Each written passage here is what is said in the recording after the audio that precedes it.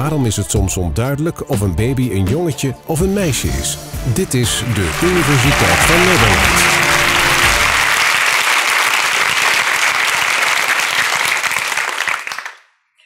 Is het een meisje of een jongen? Dat is meestal de eerste vraag die ouders hebben na de geboorte van hun kind.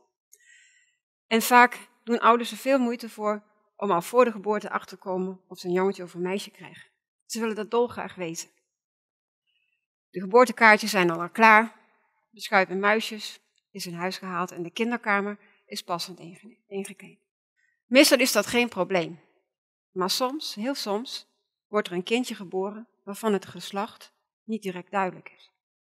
Is het nou een meisje of is het nou een jongen? Hoe kan dat nou? Het is toch geen het?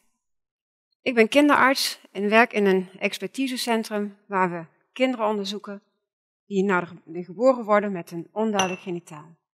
Waarvan we dus niet direct kunnen zien of het een meisje of een jongen is.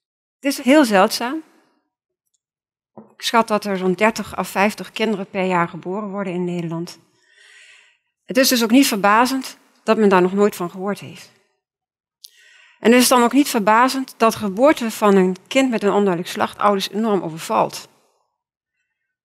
Geslacht is namelijk heel belangrijk, omdat wij in de maatschappij mensen indelen in man en vrouw, in meisje en in jongen. We komen het overal tegen. Op school, op documenten, bij het boodschappen doen. Het is dus heel belangrijk. Maar hoe komt het dat een kind soms geboren wordt met een onduidelijke slacht? En welke dilemma's komen wij als behandelteam tegen bij de beslissingen die we moeten nemen voor zo'n kind? Hier gaat dit verhaal over. Nou, om te begrijpen waarom een kind geboren wordt met een onduidelijke slacht, moeten we terug naar de eerste week van de zwangerschap. In deze periode is het uitwendig genitaal nog niet ontwikkeld en zien alle kinderen uitwendig precies hetzelfde uit. Het is dus onmogelijk om het geslacht van het kind in deze fase vast te stellen. En ook in de buik van het kindje liggen alle structuren klaar om je tot een jongen of een meisje te ontwikkelen. Je kunt dus alle kanten op. De verdere ontwikkeling van het kind is afhankelijk van de hormonen die het kindje maakt. Maakt het kind mannelijke hormonen uit de balletjes die zich ontwikkelt, dan gaat deze neutrale structuur uitgroeien. Het knopje gaat uitgroeien tot een penis en de twee walletjes gaan sluiten als een rits van beneden naar boven. En ook inwendig, onder invloed van de hormonen die de balletjes maken, verdwijnt de structuur die de baarmoeder gaat vormen, ontwikkelen zich de mannelijke inwendige organen, dalen de balletjes af.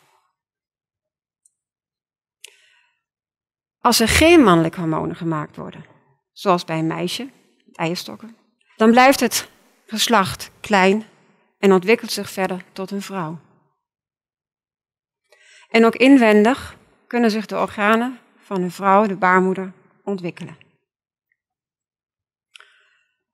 Deze situatie is niet altijd zwart-wit. Met aan de ene kant een meisje en aan de andere kant een jongen. Nee, het kan ook ergens blijven steken.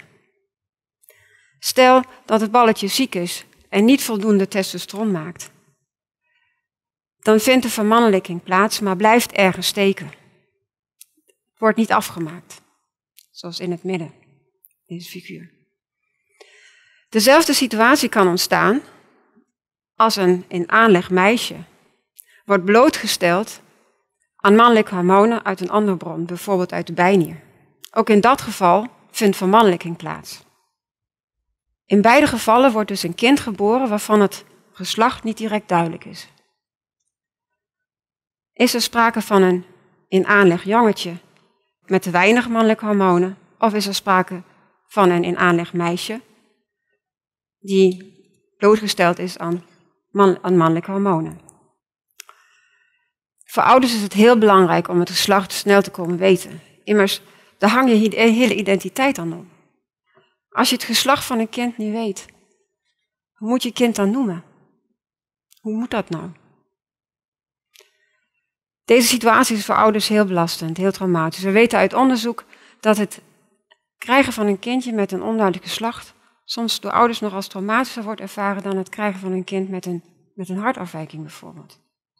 Want hoe ga je het kind noemen? Je kunt het kind niet gelijk een naam geven.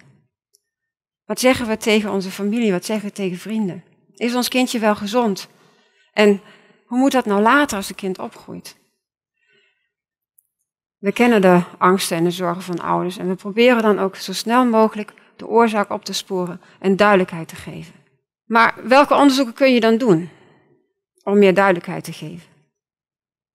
Nou, we kunnen het even opzoeken op internet. Daar staat het. Bepaal het erfelijke materiaal, de chromosomen waar DNA op zit. Het is heel simpel.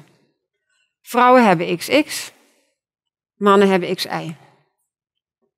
Zo staat het ook in de biologieboeken. Wie heeft dit ook zo geleerd?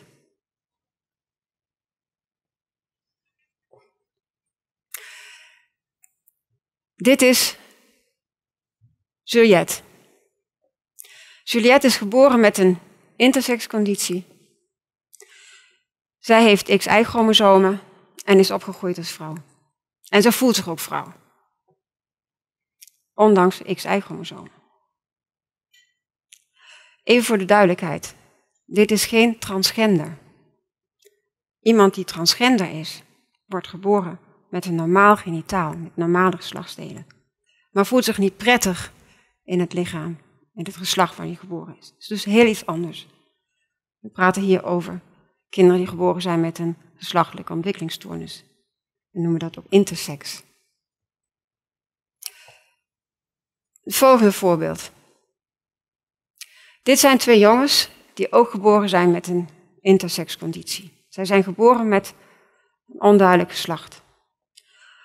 Ze hebben erfelijk materiaal van een vrouw, XX, maar zijn in de baarmoeder blootgesteld aan mannelijke hormonen en zijn vermannelijkt. En ook na de geboorte hebben ze veel mannelijke hormonen meegekregen.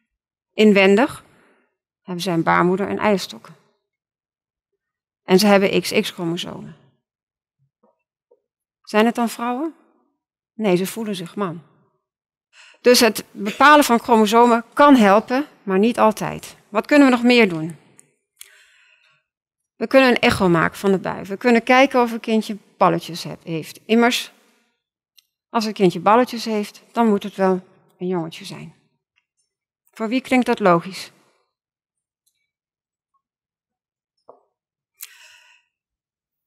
Ik laat jullie een volgend beeld zien.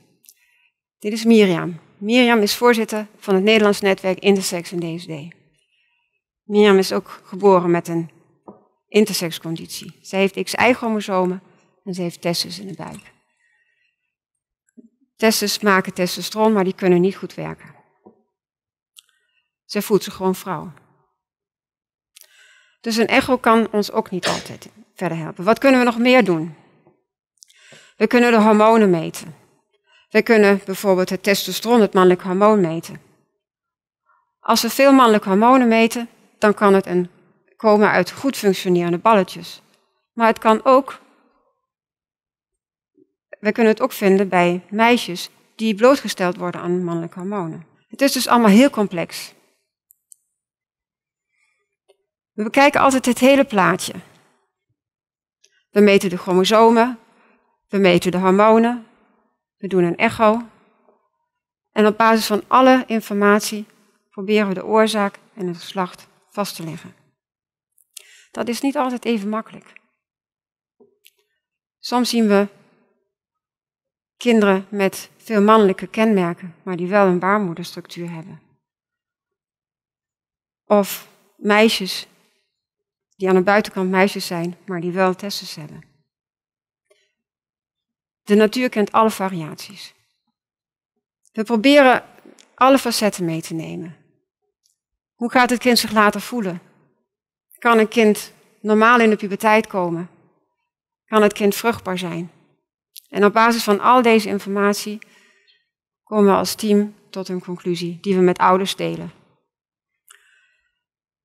Voor de ouders is dat een hele opluchting. Als ze weten wat het geslacht van het kind is. Ze kunnen het kind aangeven, ze kunnen het kind een naam geven.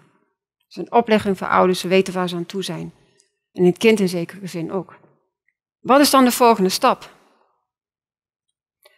Nou, de beste keus lijkt meteen opereren.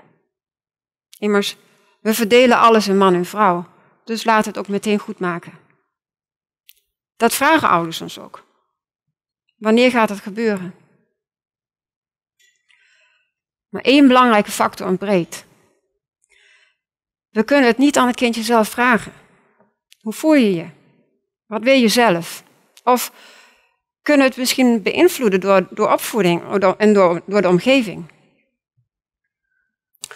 Nou, de medische wereld werd jarenlang beïnvloed door de theorieën van de psycholoog en de seksuoloog John Money in de jaren 50. Hij had de opvatting dat alle kinderen genderneutraal geboren worden en dat de opvoeding en de omgeving het geslacht van een kind in belangrijke mate bepaalt. Hij werd bekend door het verhaal van Brian. Brian werd geboren als gezond kind met normale geslachtsdelen. Maar hij werd vlak na de geboorte geopereerd. Hij kreeg een, uh, een circumcisie, een besnijdenis. En daarbij ging iets mis. En zijn geslacht werd ernstig beschadigd. Money adviseerde de ouders om het kind als meisje te laten opereren en te laten opgroeien. Als je het kind poppen zou geven en een jurkje aan zou doen, dan zou het allemaal goed komen. En hij adviseerde ouders er vooral niet over te praten. Geheimhouding was een belangrijk aspect. En zo werd Brian voortaan Brenda genoemd. Money vertel, publiceerde dit verhaal van Brenda en deze opvattingen werden jarenlang door de medische wereld gedeeld. Wat niet bekend werd. Brenda was niet gelukkig. Zij groeide op als meisje, maar ze voelde zich niet meisje. In de puberteit veranderde zij en uiteindelijk als volwassene besloot Brenda weer als jongen, als man, dit keer als David, door het leven te gaan. David was ook een van de eerste die zijn verhaal openbaar maakte. Ook andere mensen met een intersexconditie, die niet gelukkig waren met de keuzes die gemaakt waren, kwamen naar buiten met hun verhaal in de afgelopen jaren, ook in Nederland. Voor deze mensen een grote stap. Immers, geheimhouding was een belangrijke factor bij dit beleid. De maatschappij lijkt nu meer open te staan voor diversiteit. En ook seksuele diversiteit wordt meer geaccepteerd. En dit beïnvloedt ook onze gedachten over het beleid in kinderen met een onduidelijk geslacht. Maar wat we doen nu na de geboorte? Meestal komen onze bevindingen wel overeen met het geslacht van het kind. En kinderen voelen zich prettig bij het geslacht waar ze in opgroeien. En er is geen geheimhouding meer.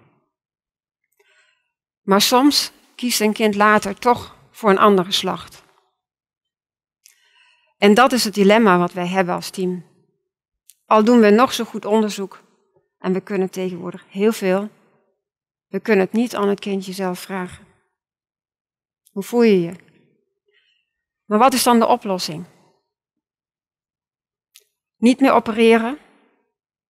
Doen we dan niet alle kinderen tekort die wel blij zijn met de keuzes die gemaakt zijn en die opgroeien als jongen of meisje? In onze maatschappij is het nog niet gebruikelijk om op te groeien zonder geslacht. Maar langzaam komt er wel verandering in. Er komen genderneutrale toiletten. Op de OV-kaart verdwijnt het geslacht. En er zijn ouders van een kind met een intersexconditie die hun kind genderneutraal opgroeien, laten groeien.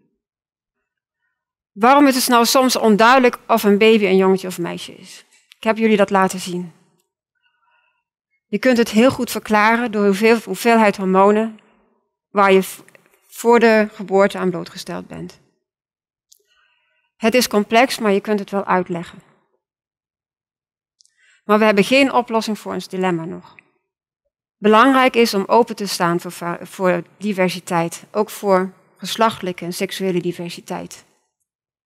Een variatie in de geslachtelijke ontwikkeling is anders dan normaal, maar is niet abnormaal. Beslissingen moeten individueel genomen worden, samen met ouders. En we moeten onze kinderen opvoeden met openheid en respect voor de anderen.